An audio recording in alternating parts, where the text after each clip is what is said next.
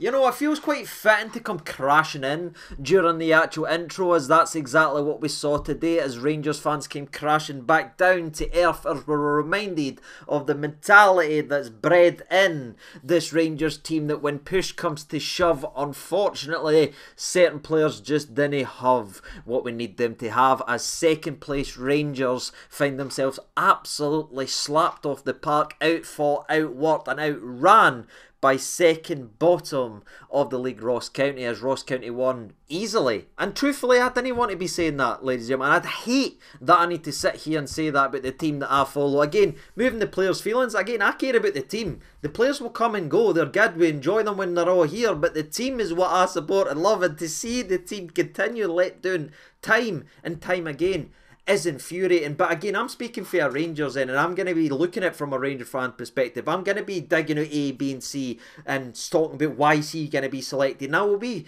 questioning the manager's decisions in these games of football, right? Because again, that's how I see the game as a Rangers fan. But on the flip side of that, no matter what I say, my frustrations and my disappointment in Rangers, it doesn't take away from the fact that this game wasn't lost by Rangers, it was won by Ross County, and I imagine there'll be more fans of another team round about this video than the actual Ross County fans. But if you're a Ross County fan, you must be proud as hell of your team that came in against all odds, punched upwards, and fought for their, their, their SPFL lives for the first whistle to the last. And that's what you want as a fan. You want the full time whistle to go and know your players gave absolutely everything, and that's what you got in this game of football. Again, aye, it was frustrating about this. Aye, it was ugly about this. But the truth is, the team that came into this game looking to fight and win it, won it. Ladies and gentlemen, the team that strolled into the game thinking the points were already won and there was bigger games that come upon the horizon, lost it. That's the tale of the tape, ladies and gentlemen. And you know the old saying that your dad's probably said to you many, many times, hard work will beat talent when talent doesn't work hard enough. Well, there it is. Ladies and gentlemen, there's your perfect example. Don Cowie's side with a budget of a packet of quavers beat Rangers' side with all the money and the finances that's available. And some people say, aye, but this guy was missing and this guy was a missing. Just look at the two teams, man. Let's not go down that road. It was nothing to do with A, B, or C missing. It was all up here. Who actually went into that game looking to fight and win and win every ball? It was Ross County. And you know what? The best team today, the best team today won. And that's sickening that I need to say that. But it's not the only thing that I'm going to be saying that's making me feel sick as we now narrow in and look at a Rangers team. A Rangers team that almost, they're like the starting 11 again. I'm not happy with, right? And we need to accept there is a place in football to talk about and question and criticise a manager or a foot wanting them to be sacked. You know what I mean? Because I was really unhappy with the starting 11 with Scotty Wright being dropped into it, blah, blah, blah, last week. And I'm even more frustrated this week. So again, I feel like I can criticise Clem on my foot, panicking and saying, oh my God, he's wanting him sacked. No, I didn't want him sacked, ladies and gentlemen. I just want to learn, I want him to learn his lesson and realise that every game is vital in the SPFL. You can't bring in duffers and shite bags into a team thinking, well, we, oh, there's enough quality in the park, we'll run all over him. And he needs to just play his best players that's available from the start. So because we can't go into keep going into games going behind the playing poorly and losing momentum because that's what we're seeing. We saw it Old Firm when he brought in Scott Wright, for example, in to the starting eleven. What was that? all about, ladies and gentlemen. Nothing against Scotty himself, but he was picked for a must-win Old Firm game and then dropped, not even making the bench versus Ross County. Let's say that again. He's picked to be played versus Celtic, but it doesn't even make the bench versus Ross County. Surely that's got to be the other way about if you're even looking at that. But even if that, I wouldn't agree with that notion because dropping and bringing in players and giving them games and letting them run through versus dross in this league or lower league teams in this league just isn't the right mentality, especially at this point of the season because there is guys in the likes of Ross County and all that that is fighting to keep food on the old table ladies and gentlemen. You know what I mean? Because if they go down, they're losing their wages and they're probably going part time. They're going to another team. These are guys that's backed into a wall that's coming out scratting left, right, and centre to bring in shite bags like the Barisic. But he's an epitome of my problem with the entire notion what we've got going on right now. See all this? Oh, drop him in. Drop him in drop them in and see how it just doesn't work. We're supposed to be one game at a time. Supposed to be that mentality that's took for the Patriots. Let's focus on one game. Focus on. Then why are we not playing our best players? Why are we bringing in the likes of Barisic, who in his last two games, not including today, which he did get subbed off and was dreadful again and being at fault for another goal, but his game before Hibs, right, subbed off early, absolutely rotten in that game, at fault, directly at fault for a goal. His game before that at uh, versus Kilmarnock where he just fell in the corner. He's been directly involved and subbed off early in every single game he's played in the last three matches. Why on earth do we keep putting him actually in here? It's no good enough. See if you actually want to win things, you need people that's tuned in in here. No boys with one foot out the door wondering where they're going to be next season. And again, he's not the only one that was pathetic today. It was honestly across the line. Genuinely, the defence, again, troops, again is dreadful. But what sickens me about the defence, ladies and gentlemen, is you look at our last two games. We've conceded six goals in two games. Celtic was against uh, conceded three, and Ross County we conceded three. And you know what's mad about that? See, our best defender is sitting on the bench. Now remember, I'm saying defender. I'm not saying ball playing guy that can drive forward and pick the pass or the guy that's really good at hitting long range passes. I'm not talking about the modern day crap. I'm talking about the best out and out defender we've got is sitting on the bench watching this team ship six goals. What does Leon Balogun need today to get on the actual park? We're at the part of the season again where people are scrapping and fighting for their lives. Ladies and gentlemen, we might need somebody that can actually win a header now and again, you know what I mean? And actually can handle a bit of physicality, but nothing was done at the centre back spot when we felt it was needed to be done. The old firm, the decision was made at left back. That was a place that we weakened from strength at the old firm to bringing in Barisic and the likes of Silva, and that starts the game of football again, falling about the place, no being involved in the game of football when it should have been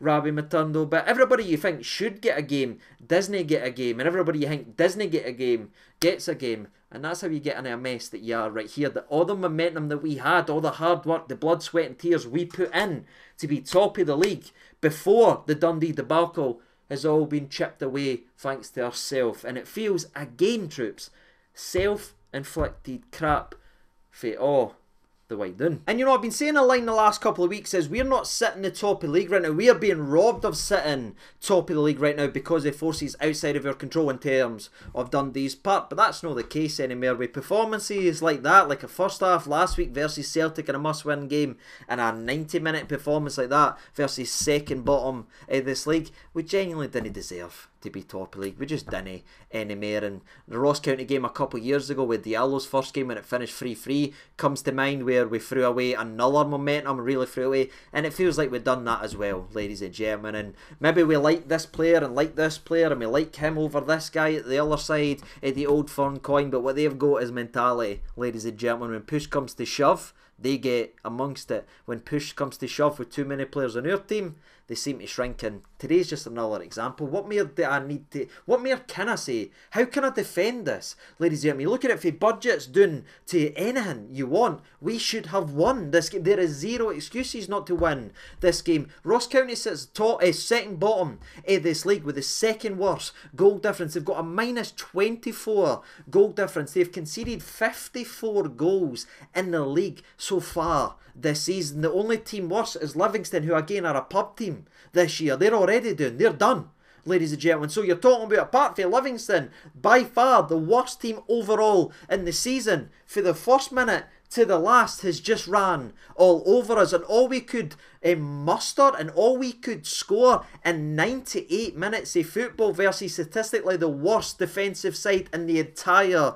league. Barron, Livingston Football Club is a fluke on goal by one of their centre backs who was outstanding on the day and a 90th minute penalty. That's what we could muster versus that. There's no excuses, ladies and gentlemen. We lost the battle up here and on the part, and you can never do that if you want to win things. But I guess we're here for the game recap, so let's get into it then, shall we? Because if you ever wanted an example, or if you missed the game, you're thinking, CG's coming out very harsh, your CG sounds disgusted. You'll see why, because in back-to-back games, we should have been behind in about 30 seconds. Uh, the game is Ross County's George Harmon misses an absolute sitter at the back post to take the lead for Ross County in less than a minute. You think about last week's Old Firm game, right? Conceding the way we did. This is your next game that we've played. How are we that slow? How is Goldson just out of the line again, keeping them on side. Do you know what I mean? It's dreadful. It's a ball down the right hand side. Ross County again. Goldson's about a mile behind the rest of his defensive line. The ball comes in, and it's no Tavernier doing a good bit of defending at the back post. No, it's Sima that's doing the back post defending. And you know what's weird about Tav today? I'd argue this is the worst performance I've ever seen Tav have ever, ladies and ever. And I know he scored the penalty and people will throw that in my face. He couldn't connect a single pass today. Every cross was dreadful. Every corner and set piece was stinking. And he was one that you looked to to really lead us and pull us through. But the day, ladies and gentlemen, where I have given him so much credit for being usually the guy stepping up when everyone else has fallen, he was about as pish as the pishest player on the actual park, if we're calling it how it is. Penalty or no, couldn't care less. He was dreadful. And see my build on out the bushes and that occasionally a good bit of defending. But even in saying that, if you're a Ross County fan, you're looking at saying, that should be one. But again, we need to talk about Goldson because in the third minute he has a free header that hits over the bar and you know, water's wet is vintage Connor Goldson troops. What do we say? Our entire set piece philosophy is blocking. We want everybody to block for Souttar and Goldson. Why? Neither one of them can header the football. What are we actually doing? It was great to see the outswingers come back because the inswingers look very dangerous versus Celtic, so it makes complete and utter sense that we reverted back to the outswingers. But aye, Goldson in the opening five minutes of the game misses a free header and is three yards behind a chance it should end up going into the back of net. It was vintage for the big man, unfortunately, this season. And did we really offer any to response to that start? No, Cantwell had to do a really good bit of defending. There was in the first ten minutes, there was a real argument and a case that the best defenders on the park were Sima and Cantwell because both of them had vital interceptions and vital tackles. Nobody else in the back line did. I don't care who your favourite of the month is or you like this guy or no. They were dreadful. They can't win heathers. They can't track men. They can't defend. And guess what? That's in the title. That's what you need for them. I don't care how good they look when they're running the ball. He's a good passer.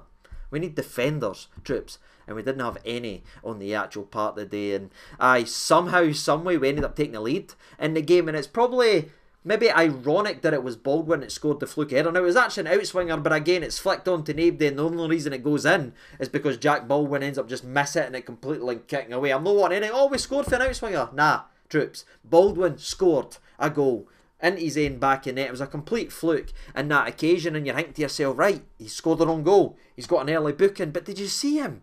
For the rest of the game. I'm not saying he should sign for Rangers or anything like that, but did you see the way he defended for his life? Threw his body on the line. Even when he was injured about the 68th minute that we will talk about, he got back up and then threw his body in front of another shot, sticking his head in, nearly collapsing and colliding with the actual post. Did you see the difference in mentality of a defender? Then as we've took the lead, it seemed to take the wind a little bit out of uh, Ross County's sails, ladies and gentlemen, and Dessers does some good work as he bulldozes over a couple of people, creates a chance for Cantwell that's fantastically saved by Laidlaw. They then you got Tavernier hitting across kind of on the deck, but Sima does so brilliantly to improvise, flicks it up and over, and Laidlaw just gets his hand on it. That little spell was about the best as we played, but it only lasted three minutes. Who was the next team that created the next opportunity? It was Ross County as they cut inside beautifully, running away for Tavernier, cutting inside.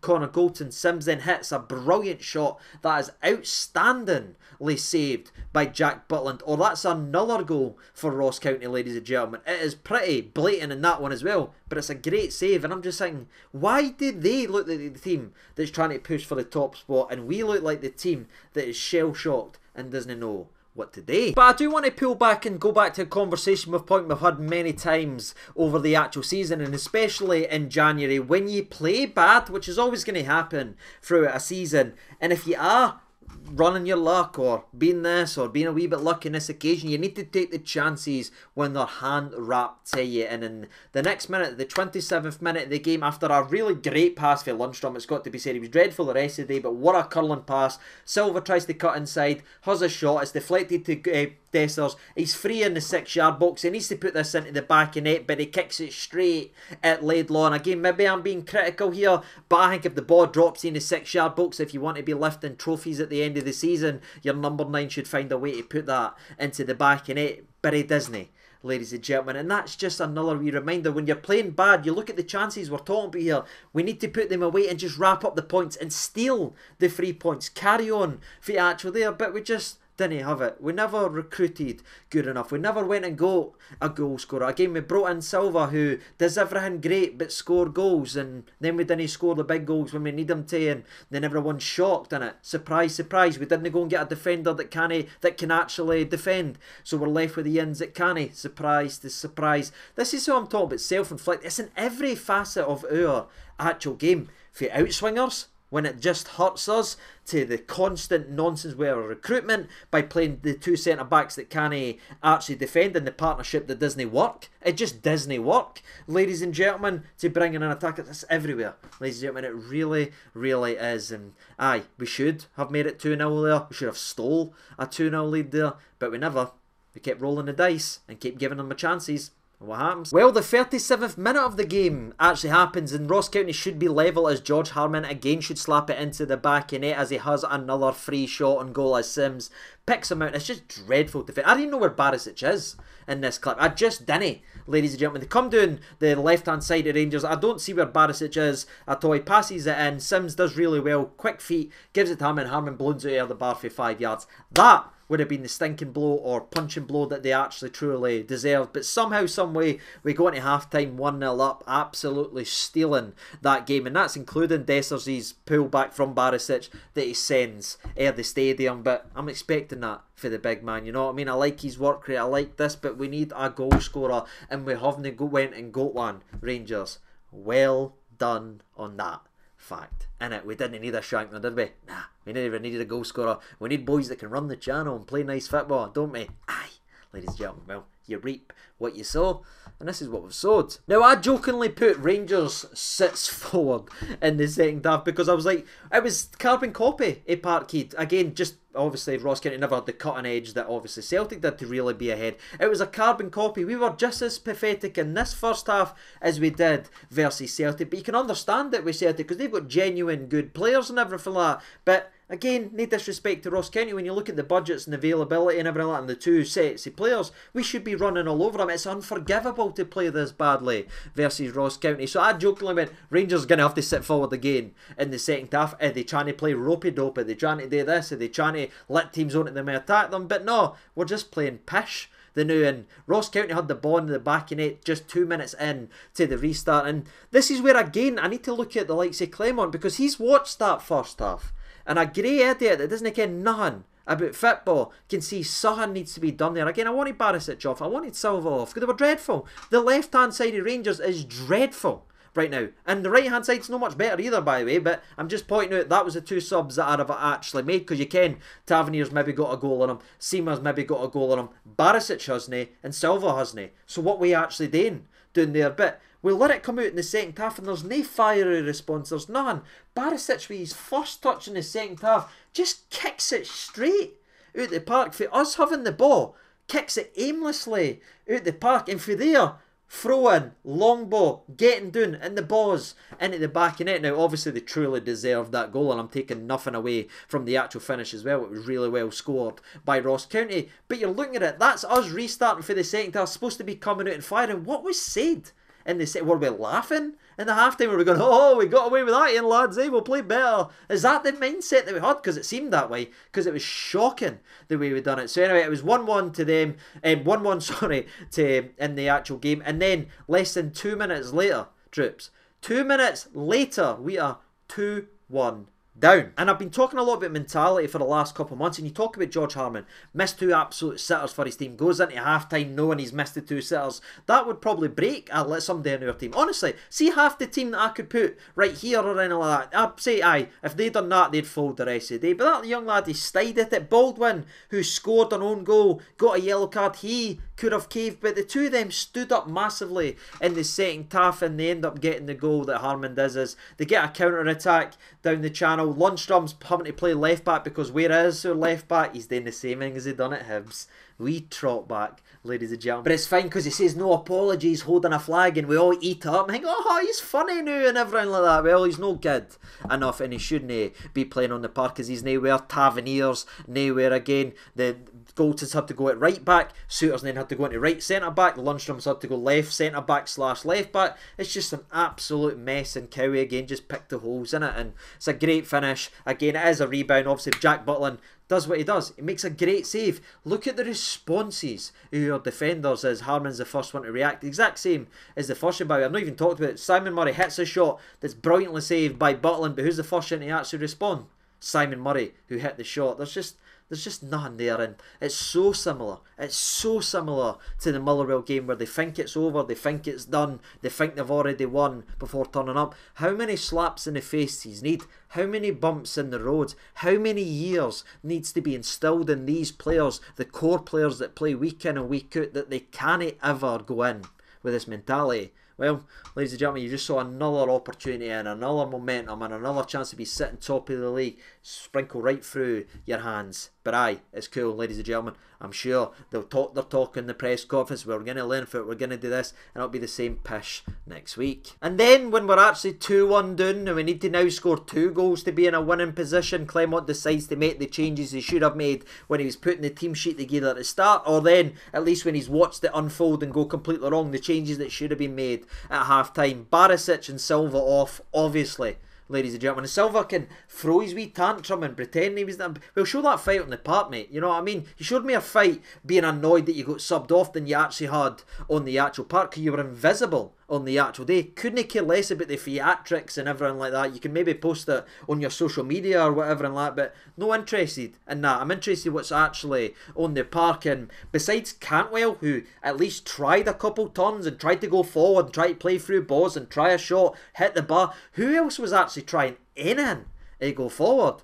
Name one. The changes, the likes of Rabbi Matondo, who again deserved to start this game, did create a chance in the as soon as he came on. Actually, he was whipped across in for Dessers, but it falls to him again, and is somehow is blocked. The usual water is actually wet. We keep pushing, we pushing. Sima then has a couple shots that's um, blocked again. You think to yourself, what is going on here? You're thinking, right, it must come new. We must come new. It must come new. But the quality just wasn't there, ladies and gentlemen. It wasn't as if we were banging on the door constantly and carving the moment. Just wasn't like that. And Ross County get the third goal of the game that they actually deserved because there was the only time we were in the ascendancy of the game is when Ross County started to roll about the ground and started time waste. But when they actually remembered, wait a minute, the Rangers can't handle anybody running actually at them. Let's just continue to do that. They then created some chances again, and the third goal is the absolute killing goal, and it's a great goal of quality from them. But again, where's Tavernier in this? You run down the channel. Where's Goldson? Can we get a challenge in anywhere? No. The only in trying to make a challenge is Sterling. But to be fair,